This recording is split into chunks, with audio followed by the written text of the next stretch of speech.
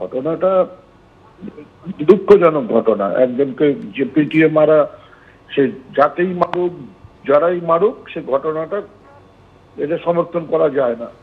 তা আমরাও এই ঘটনার যে করেছে বা যারা করছে তাদের নিন্দা করছি এবং এটা নিয়ে যাতে পুলিশ কড়া ব্যবস্থা গ্রহণ করে সেই ব্যাপারটার দিকেও সরকার নজর দিচ্ছে।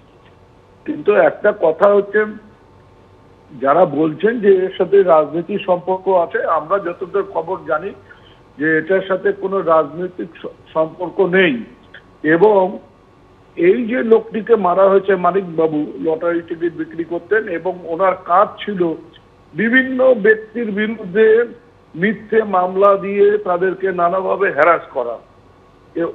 গ্রামের প্রচুর মানুষের বিরুদ্ধে তিনি মামলা করেছেন এবং তারা অনেকেই ক্ষুব্ধ হয়েছিলেন ওনার বিরুদ্ধে। এই যে পাঁচ বছর ধরে উনি বাড়ি ছাড়া ছিলেন কেন? ওই গ্রামের কেউ বাড়ি ছাড়া নেই। অন্য কোনো দলের কেউ বাড়ি ছাড়া নেই। হঠাৎ কংগ্রেস সমর্থক একজন, তিনি কেন পাঁচ বছর ধরে বাড়ি ছাড়া ছিলেন? এটাই তো এই রহস্যটাই তো উদ্ঘাটন করা যাচ্ছে না। এটা তৃণমূলের তারা খেয়ে বা তৃণমূল কর্মীদের দ্বারা অত্যাচারিত হয়ে তিনি যদি বাড়ি ছাড়া হয়ে থাকেন এতদিন ধরে অধীর বাবুরা বা কংগ্রেসের কোনো নেতা একবারও তার খোঁজ করলেন না বা একবারও এই ব্যাপারে মুখ খুললেন না, এটাই অবাক করার মতন ঘটনা। কাজে আমরা এটা জানি এবং এটা শুনেছি যে এর সাথে কোনো রাজনৈতিক সম্পর্ক নেই। এটা এলাকায় নানা রকম ক্ষোভ বিক্ষোভ ওর বিরুদ্ধে ছিল।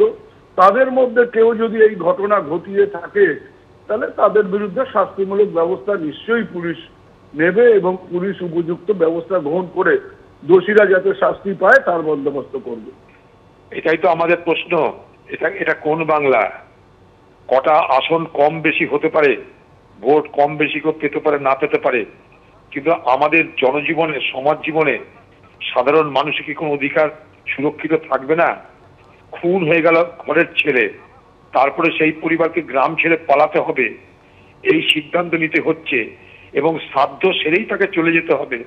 তার জন্য তাকে সিদ্ধান্ত নিতে হচ্ছে, এইটা কি বাংলার গণতন্ত্রের পরিচয়? বাংলার মুখ্যমন্ত্রী দিল্লিতে এসে তিনি দেশকে জ্ঞান দিবেন গণতন্ত্রের, আর পশ্চিমবঙ্গে তার নিজের রাজ্যে যেখানে তিনি ভোটে জেতেন বা হারেন, সেখানে তার বিরোধিতা কেউ করলে তাদেরকে হত্যা করা হবে, হত্যার পর তাদেরকে ঘর ছাড়তে হবে, ভোট না দিলে চাকরি কেড়ে নেওয়া হবে, বাংলার এই নৃশংস চেহারা সারা ভারতবর্ষের মানুষ দেখতে পাচ্ছে। বাংলার মুখ্যমন্ত্রী, আপনি জিততে পারেন, কিন্তু আপনি এখনও পর্যন্ত মানবিকতাকে আপনার রাজনীতির অঙ্গ করতে পারেননি। আপনি জিততে পারেন, কিন্তু গণতন্ত্রকে আপনি বিশ্বাস করতে শেখেননি। আপনি জিততে পারেন, কিন্তু আপনি এই বাংলার অরাজকতাকে রোধ করতে চাননি। আপনি জিততে পারেন, কিন্তু আপনি স্বৈরাচারী হওয়ার মানসিকতা ত্যাগ করেননি। এটাই বাংলার মানুষ দেখতে পাচ্ছে। আমরা যতদূর যেতে ততদূর যাব। তাদের জন্য আন্দোলন হবে, তাদের জন্য কোর্ট হবে সব কিছু হবে। কংগ্রেসে যতটুকু ক্ষমতা আছে, পশ্চিমবঙ্গে আমরা ততটুকু ক্ষমতা সেই পরিবারের জন্য ব্যবহার করব। বাংলার মানুষ নিশ্চয় থাকুন ধন্যবাদ অধীরবাবু আমাদের সঙ্গে কথা বলবার জন্য।